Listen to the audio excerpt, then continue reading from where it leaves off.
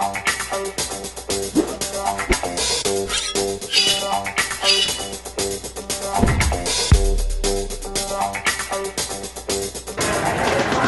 tell you what I do like. I think cool hand luke's a great film. I, uh, there was two, in terms of footballing ability, when I played against Alan Hansen and Mark Lawrenson when they were at Liverpool. It was uh, David Top, Bowie. that's right. Oh, oh, oh.